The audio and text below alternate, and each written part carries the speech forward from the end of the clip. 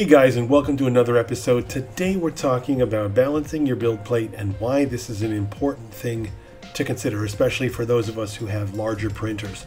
If you're working with a build plate that's bigger than, I'm going to say bigger than six inches, you really need to consider this because even with smaller build plates too, you still need to consider balancing, but with the bigger ones especially, when you have a larger vat, that just means you have more room for the spread. That peel force is going to pull and so when you have pull on one side and not enough on the other, you're gonna it's think of it as a pendulum. It's gonna swing too much in one direction. So you're gonna have either warping or you're gonna force a failure because it's gonna pull too much on one side and not enough on the other.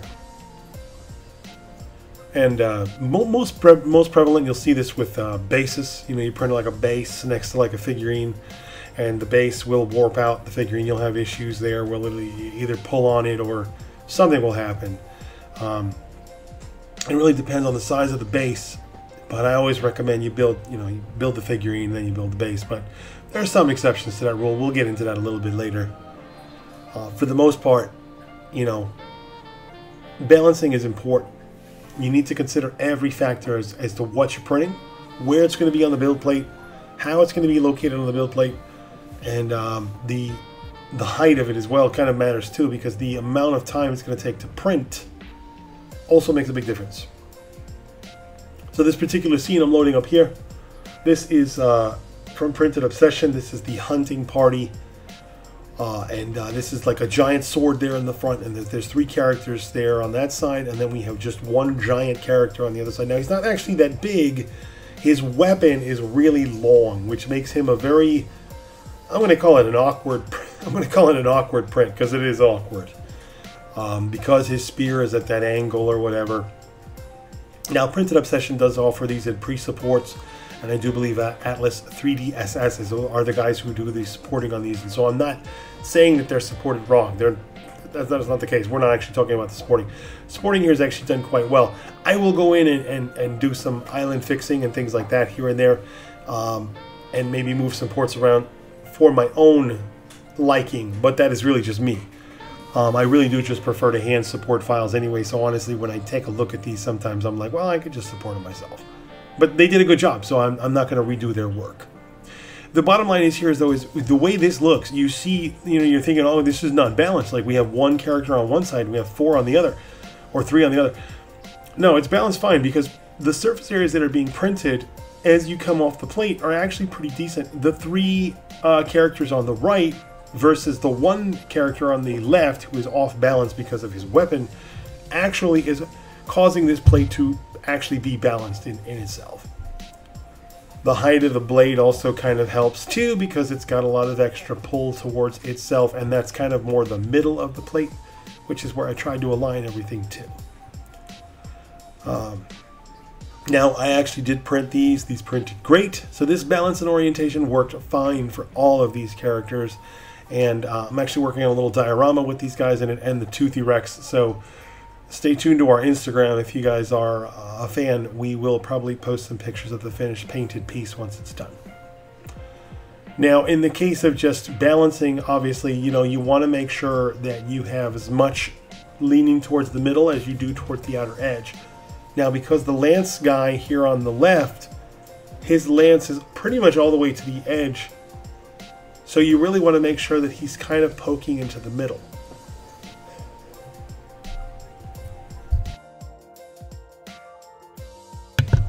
This will really allow you to make sure he's at a good angle. Now he's actually, the way I have him there, kind of angled from corner to corner.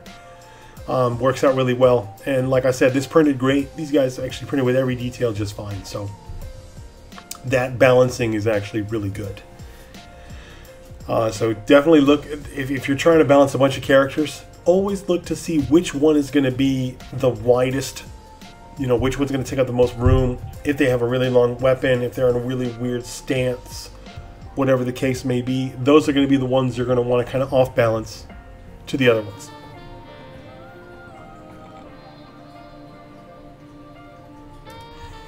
Now this guy here you know, this is an example of a character in a base, but his base is pretty small, and he's a little wonky if you actually look at him. His, He's kind of this off-centered kind of character. He doesn't really kind of come up in a normal sense.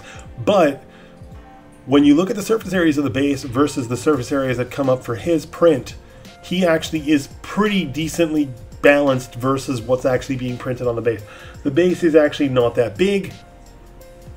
Um, and there's not a lot of surface area there that's actually happening all at once. There's pretty wide zones there, but for the most part, he's got some pretty big chunks as well that are printing up there in the beginning. So I think overall you're you're gonna have a pretty balanced build. Now you could probably throw an extra character in front of him on this build plate, and you wouldn't really have too much of an issue. I think your your balancing would be fine there, as long as you oriented them fine, like you had them kind of facing each other or or taking up enough room, you know, that they, were kind of like sharing the same space, I think that would be okay. Um, printing an additional base on this plate would probably work too, but you would also have to consider balancing that out with the other base. Bases tend to pull the most because they're kind of like suction cups. They do tend to pull. They have large surface areas that get printed, usually solid and that tends to have a lot of peel force. And so that peel force that you're having there with the base is going to have a big effect on whatever you're printing next to it. And so since he's a little bit taller, I think that actually helps too because by the time he gets to about the biggest section of the base, he's a pretty chunky print at that point. And the supporting there is adequate enough that it's helping him kind of pull on and off. So overall, I think that's okay. Um, you can do a little bit better than that particular setup, and that was kind of an example of like, you know, oh, it's balanced, but eh, you could do better. now, obviously, the way you want to do it is you want to balance the weight as evenly as possible, meaning you want to have a couple of pieces that are going to sit on the plate, and you want to be able to distribute that weight as much as you can evenly. Now, if you're working with a small printer and you have a couple pieces, like these three bases, for example, you can just throw those on and they're just you know you just line them up as best as possible and bing bang boom there you go. You have a pretty balanced build. One in the middle two in each corner in the back and um, you're ready to go. Now uh, if you're working with a big build plate this is going to matter even more because you're probably going to want to space out as many of these guys as possible you know because you're probably going to mass produce them so you're going to, you know you're looking at making as many as possible so you're going to want to squeeze as many of these guys as possible into the same space so in that case, really what you're going to do is just kind of like line them up in rows, get them as straight as possible, and just, you know, make it, you know, as, as, as even as possible. So that way each one will kind of print in a row. Now, it really depends on how big your build is. Now, obviously, you can you can take up as little or as, as much space as you need for each piece. You can have the, the rafts can touch each other. That's not going to really be a problem. As long as they don't obviously collide with each other, as long as these supports are far enough away that they're not going to interfere with each other. And I think that's the overall thing is people you just you need to be aware of uh, location. You should always place your objects at least five millimeters apart. It really it gives the printer enough space to kind of work with light bleed as well, so you don't have light bleeding in from other objects, which can cause blurring, things like that, loss of detail.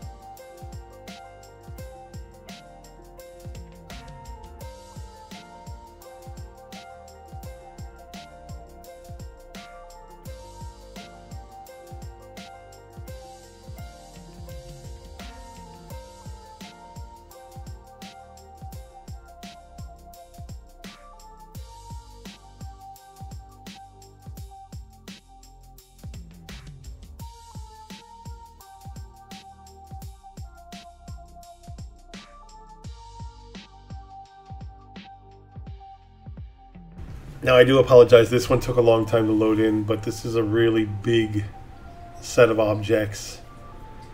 Um, these are all pre-supported files from Crippled God Foundry, and this is a pretty big build overall.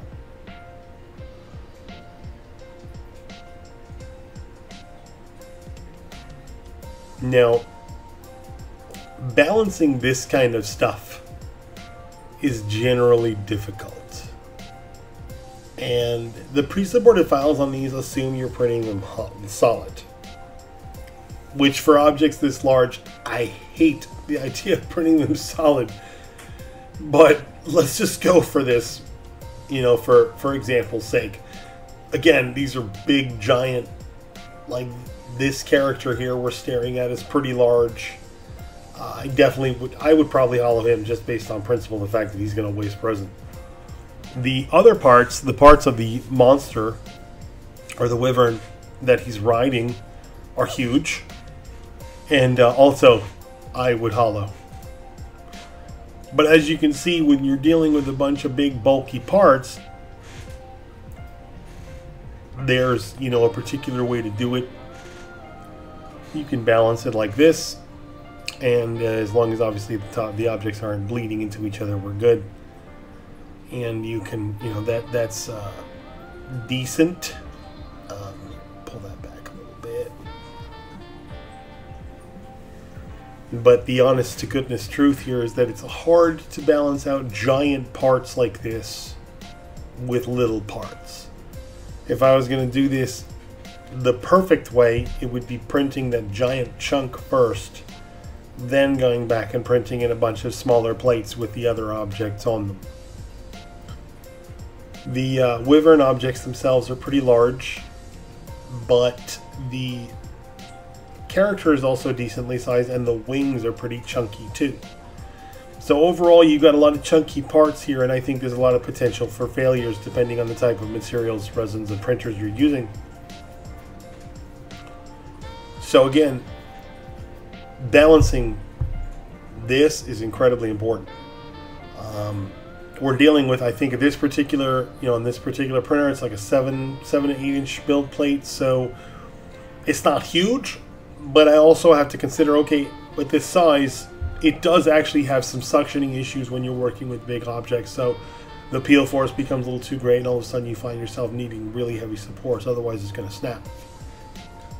And this is really just due to the size of the vat versus the size of the actual uh, build an object. So when you're trying to build a tiny object in the middle of a giant build plate, sometimes it's going to fail just because of the fact that that build plate is going to lose its fight with the FEP. And it really, sometimes the Chaos Gods have a lot to do with that. so we never really know. Now there's a fundamental way to do this, and you, you can you can play around with this for hours, where you moving the objects around the build plate and kind of adjusting them and going and seeing which ones you know fit in the best spot, which ones I, I can put this way. We can turn this one this way, and yeah, you can change orientations. You can change. You can you, you can rotate the objects to make them fit a little bit better.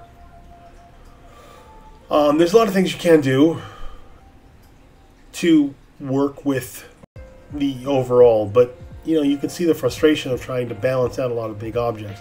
Again, sometimes it's better just to print them a few at a time. Uh, especially like the wings. You know, I would always recommend big objects like that. Just print one wing at a time. It also gives you less to worry about if you have a failure. That failure could lead to alternate objects failing on that plate too. So overall, you're you're leading to more potential for failure. So I think it's important to note that just building one part at a time is kind of a good prototyping method.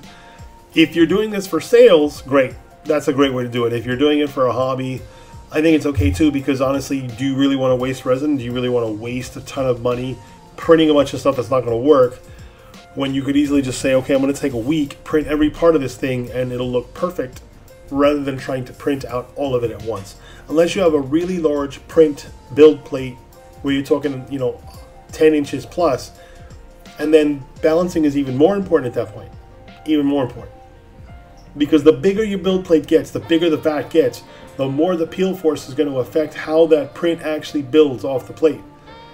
And the peel force is really the ultimate thing that decides whether or not your print's going to succeed or fail. The amount of peel force that's happening at each layer of each print. And when you have this many objects that are printing all at once, and you have all of this peel force happening all at the same time, that will lead to a fail. No doubt about it. And a lot of these objects are really large, so the surface areas that you're printing all at the same time are huge. You also have to make sure that you avoid areas that have suction cupping because you definitely don't want any suction cupping happening when you're dealing with gigantic objects like this. And now don't be afraid to also go in and kind of tweak these supports as well because even though Crippled God does do some amazing support work, I will at times add some supporting where I feel like it might be necessary. Not that it won't make the print fail or succeed, I think it's going to just protect particular details that I'm concerned about. At least in my opinion.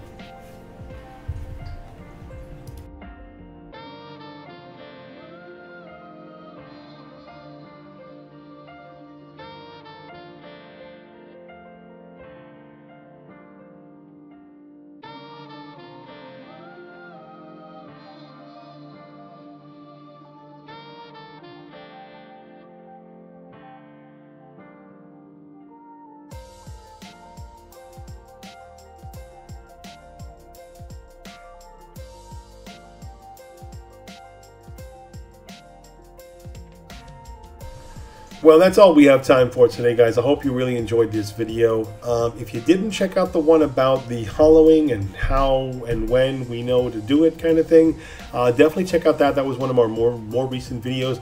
I'll pop that up here at the end of the video so you can go ahead right to that. Um, we discussed the plate balancing thing in that video, which kind of led us to create both of these videos at the same time. So anyway, I do appreciate you guys watching. As always, please hit that subscribe don't forget to give the like and tap the bell notification just to make sure that you get notified on new episodes like this, which we do publish at least once or twice a week. And we, again, we really appreciate you watching. Thanks a lot. See you all soon.